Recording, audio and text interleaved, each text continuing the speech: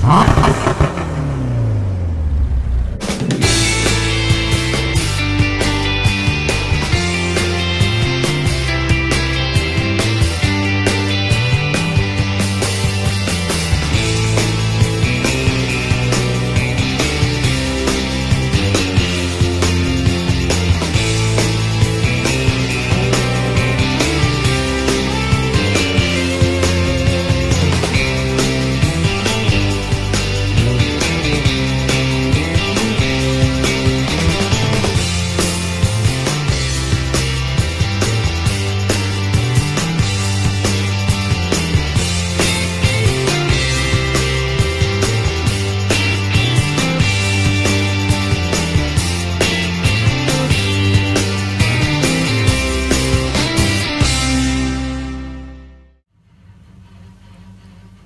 皆さんどうも。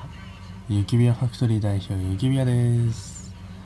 今回はですね、えー、トミカの紹介っていうのをやっていきたいと思います。えーですね、今回ですね、つい先日発売されたですね、えーと、イニシャル D の、えー3台、あの、セブンイレブン限定で発売されたのがあったと思うんですけど、と多分詳しい方はもうご存知かと思います。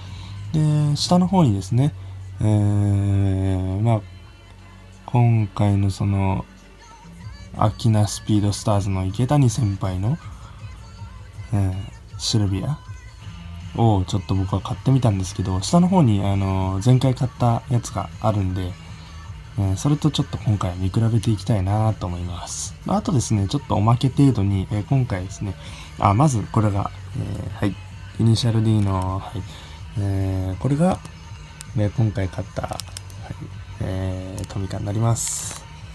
えーこれを後で開けていきたいと思います。はいでですね、おまけ程度にですね、今回ちょっとこれも手に入れましたんで、っていうよりこっちの方が高かったんですけど、今回こっちも手に入れたので、こっちも開けていきたいと思います。はい。じゃあまずですね、こっちですね。はい。まずこっちの新しくイニシャル D で入ったトミカの方開けていきたいと思います。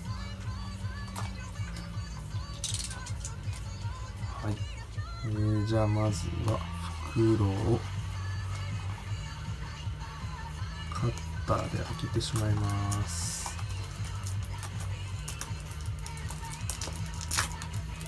はい。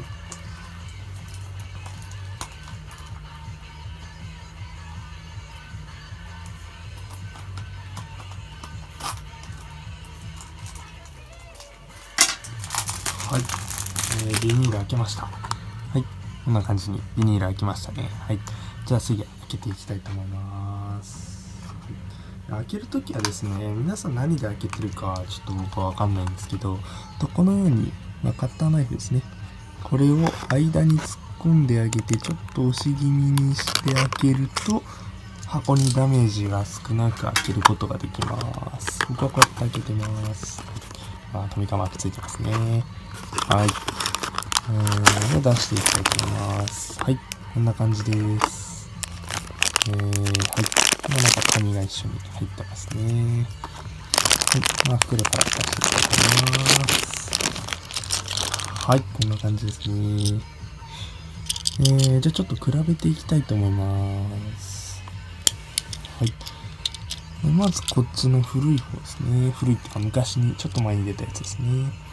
まあ、こまずデカールが黄色い感じになってて、こう、アキナスピードスターズって書いてある。こっちの方がなんかかっこいいですね、デザインとしては。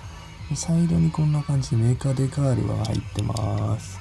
まリアにはこうシルビアって入ってますね。テールランプもちゃんとできてます。サスもついてて、まあ、裏こんな感じですね。はい。ちゃんとホイールも銀に塗られてます。クリアってヘッドライトなんでね、結構いいですね。でこれね、昔古いやつだと、こんな感じで銀のヘッドライトになってたんですよね。はい。まあ、それがクリアになったっていうことでね、はいえー結構クオリティが上がってます。はい。じゃあ次ですね、こっち新しい方見ていきたいと思います。まあ、新しいのも同じようにドアはこういう風に開くんですけど、はい。まあ、デカールの方が違ってきますね。はい。えーアキナでスピードスターズって書いてますね。はい、ボンネットにも同じデカールが入ってます。で、まあ、ワークスデカール、ドアのね、ワークスデカールがないですね。リアにはシルビアって書いてますね。お、なんか、テールランプ下に日産って書いてますね。見えますかね？ここですね。この下のところに日産って書いてますね。結構凝ってますね。はい、で、サスペンションもついてて、裏はこんな感じになってます。はい。まあ、こっちとこっちは裏そんな変わりないですね。はい。色なんですけど、色もまあ、池谷先輩のシルビアなんで、そこまで変わりはないですね。あ、ヘッドライトにもちゃんとシルビアって入ってますね。はい。白文字で入ってます。ちょっとわかりにくいですけど。でまあ、こんな感じで色もそんなに変わりはないですね。はい。あ、こっちにも日産って入ってますね。特に変わりはなさそうです。はい。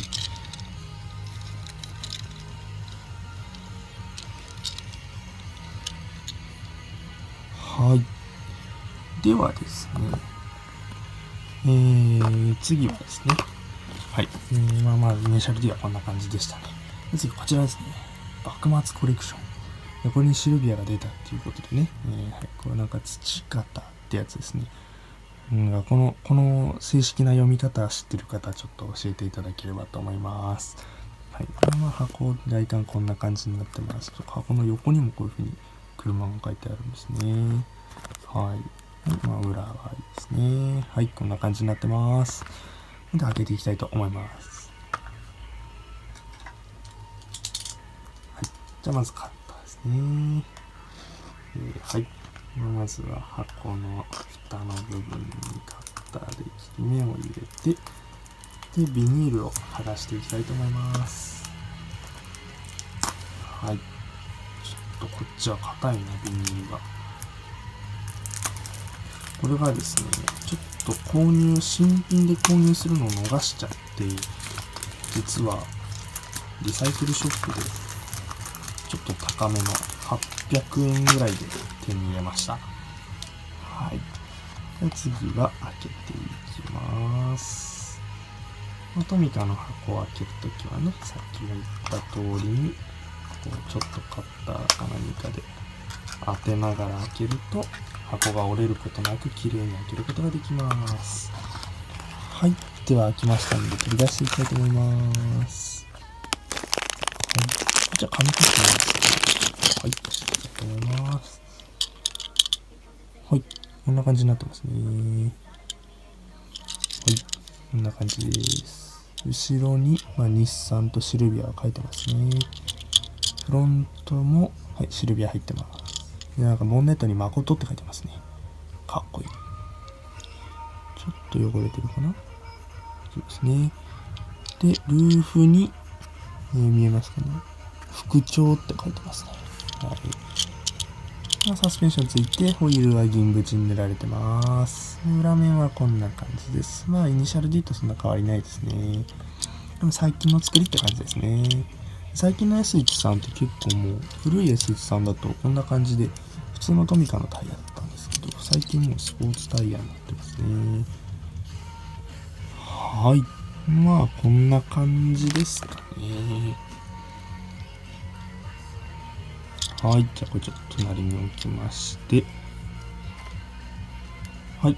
じゃあですね、今回は、えー、こんな感じで、イニシャル D と、えー、今回おまけで、このトミカ幕末コレクションの、えー、土方さんっていう人の仕様のシルビアを、えー、2台購入しましたので、開けてみましたということでした。はい。えー、今回ですね、こう、紹介の方したんですけど、こんな感じでトミカの方の紹介とか、あとカスタム動画とかも上げていきたいと思ってますので、えー、ぜひぜひチャンネル登録とかもお願いします。それでは今回はこの辺で終わりにしたいと思います。ゆきびやファクトリー代表、ゆきびやでした。バイバイ。